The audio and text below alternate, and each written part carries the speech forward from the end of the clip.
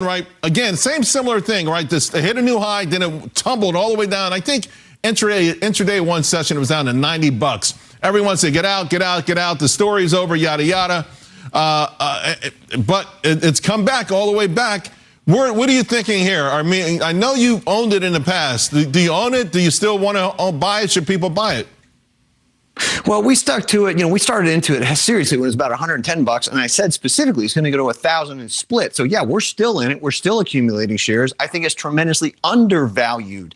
AI is one of the single largest investing themes in recorded human history. This game is still early innings, and confusing the situation, Charles. Valuations that people talk about all the time do not reflect tech investing accurately. So a high PE is exactly what you're going to get when it comes to digital investment.